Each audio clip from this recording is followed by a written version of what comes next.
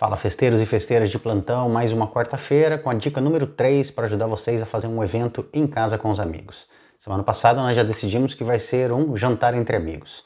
Hoje nós vamos continuar então estabelecendo os parâmetros para a gente conseguir calcular quanto vai custar esse evento para a gente. Então vai ser um jantar, vamos definir o número de convidados, no caso da planilha que eu preparei foram oito convidados que eu coloquei na planilha, e a duração do evento. Eu coloquei 4 horas de evento com 30 minutos de aperitivo aproximadamente. Por que, que é interessante a gente ter o cálculo de tempo? Porque quanto mais longo durar o evento, maior vai ser o consumo de alimentos e de bebidas.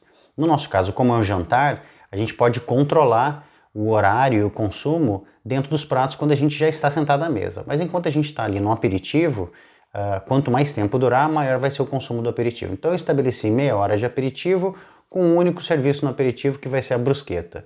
Tudo isso está detalhado na planilha Excel, que eu vou deixar o link aqui para vocês uh, abaixo do vídeo, no nosso canal do YouTube, para que vocês possam acessar e dar uma olhada lá. Se tiverem qualquer tipo de dúvida, podem mandar para mim as perguntas no canal que eu respondo. Então, o que, que nós temos que pensar, uma vez que já sabemos que é um jantar, com oito pessoas, com quatro horas de duração e 30 minutos. Nós precisamos pensar agora no cardápio como um todo para que não haja muita discrepância nos sabores e naquilo que está sendo proposto. Então, se vocês repararem na planilha que eu coloquei, eu fiz um jantar ah, totalmente baseado em alimentação em, de terra, vamos dizer, sem nada, de, sem nada de frutos do mar.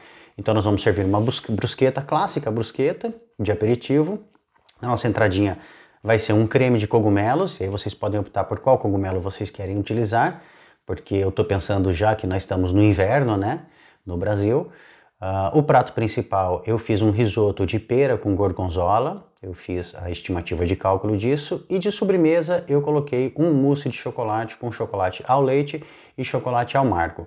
Para as receitas, eu sugiro que vocês procurem sites de confiança, não sites de marcas, porque normalmente as marcas tentam vender os produtos. Procure sites de chefes de cozinha. Eu posso sugerir também, vou deixar o link aqui no canal do Diallo Zafferano, que é um site de receitas italiano que é muito bacana. Vocês podem utilizar o Google Tradutor para fazer as traduções. A receita do risoto de gorgonzola e pera que eu coloquei como prato principal foi extraído desse site, ok? Então acessem a planilha Excel, deem uma olhadinha, se tiverem dúvidas, coloquem aqui no meu canal que eu respondo assim que possível para vocês, tá bom? Até a próxima semana com um cálculo sobre bebidas, consumo de bebidas.